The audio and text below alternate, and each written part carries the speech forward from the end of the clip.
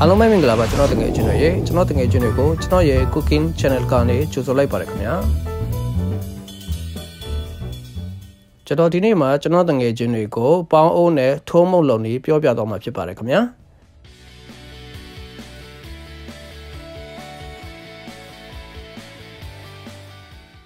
ဒီစီစီလေးပစတင်ပြီးကျွန်တော်ရဲ့ Facebook page နဲ့ YouTube channel ကို like share and subscribe လုပ်ပေးဖို့တောင်းဆိုပါရစေခင်ဗျာ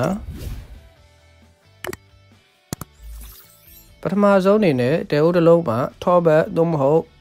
စီကိုအနှဲငယ်ထည့်ပေးပြီးအုံးသီးကိုအယောင်ရသည့်အထိကြော်ပေးပါခင်ဗျာဒီကြော်ထားသည့်အုံးသီးကထုံးမုံရဲ့အပေါ်ကနေတင်ပေးဖို့ဖြစ်ပါတယ်ပကံလုံးတစ်လုံးတွင် ကောင်းချင်းဆန်မှုန့်ကိုဆန်ချိန်ကွက်ဖြင့်၃ကွက်ထည့်ပေးပါ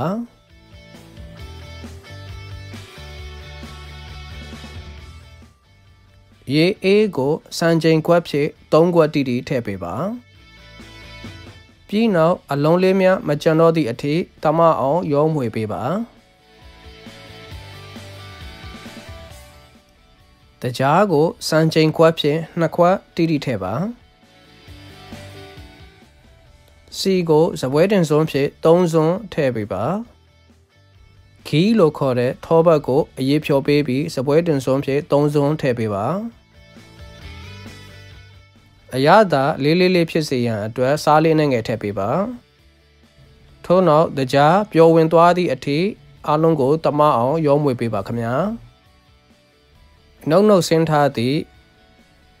မြေပဲဆန်ကိုစပွဲတွေစုံ၃စုံခန့်ထည့်ပေးပါချစ်ထားပြီးသားအုံးစည်းဆန်ကိုစံချိန်ကွက်ဖြင့်တစ်ခွက်အပြည့်ထည့်ပေးပါ နယူးဇီလန်နိုင်ငံမှာအုံးစည်းဆန်ရဖို့အခက်အခဲရှိတဲ့အတွက်ကျွန်တော်ကတော့အောင်စည်းစံအချောက်ကိုအသုံးပြုထားပါတယ်ခင်ဗျာပြီးနောက်အားလုံးကိုတမအောင်ရောမွေပေးပါခင်ဗျာရလာသည့်အယောကိုထမင်းပေါင်းရင်ထည့်ပြီးထမင်းပေါင်းနဲ့တဲပါခင်ဗျာထမင်းပေါင်းနဲ့တဲထားဆိုရင်အောက်ခြေကတ်မသားစေရန်အတွက်ကျွန်တော်တို့ကဇုံးလေးဖြင့်မကြာခဏမှွေပေးပါခင်ဗျာပေါင်းအိုးရဲ့ခလုတ်က cook အနေထားနေ1အနေထားကိုတက်သွားပြီဆိုရင်ကျွန်တော်တို့ကခလောက်ကိုပြန်မနှိပ်တော့ပဲ1အနေထားနဲ့ပဲကျွန်တော်တို့ဆက်လက်ချက်သွားပါမယ်အခုလိုအဆက်မပြတ်မှုရနေစဉ်အတော်တွင်းမှာကျွန်တော်တို့ကအရေးဖြောထားပြီးသားထောဘတ်ကိုဖြည့်ပေးခြင်းလိုက်ထည့်ပေးပါခင်ဗျာကျွန်တော်ကတော့အခုထုံးမုံလောက်တဲ့နေရာမှာထောဘတ်ကိုစပွဲတင်ဆုံး၅စုံခန့်ကျွန်တော်သုံးထားပါတယ် ထို့နောက်လှော်ထားပြီးသားတီဟိုစိတ်ကိုအနှဲငယ်ထည့်ပေးပြီးအားလုံးတပအောင်ရောမွေပေးပါခင်ဗျာရောမွေရတွင်ဇွန်ဖြည့်တခြားလေးဖိဖိပြီးမွေပေးပါခင်ဗျာအဲ့ဒါမှာထောဘတ်ရဲ့အရသာအထဲစိတ်ဝင်သွားမှာပါ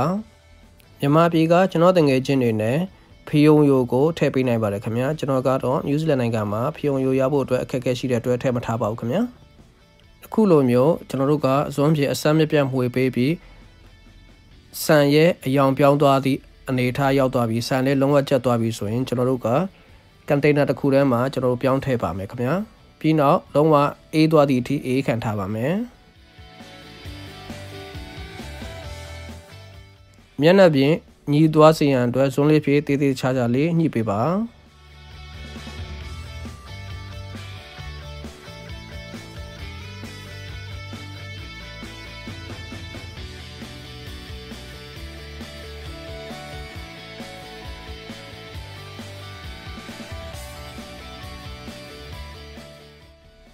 ဝါဝါဝါအခုဆိုရင်တော့လူတိုင်းအိမ်မှာပေါင်းအုပ်တစ်လုံးရှိရင်လှုပ်ရှားနိုင်မယ်ထုံးမုံလုံနီးလေးရပြီပေါ့ခမညာရလာတဲ့ထုံးမုံရဲ့အပေါ်ကနေအတင့်ကြော်ထားပြီးသားအုံသီးဆန်များကို တင်ပေးပါခမညာဝါကျွန်တော်ကတော့လုံနေတလက်နဲ့မစားရတာကြာပြီဖြစ်တဲ့ထုံးမုံလေးကို စားဖို့တရေတွေတမျှမျှတောင်ကြာလာတယ်ခမညာဝါကြည့်လိုက်ပါဦးဗျာဘလောက်ထိမိုက်တဲ့ထုံမုံလေးလဲဆိုတာ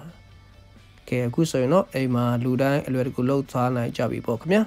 ကျွန်တော်ရဲ့မုံလုံနေများဟင်းချက်နေများကိုကြိုက်နေတဲ့တည်ဆိုပါက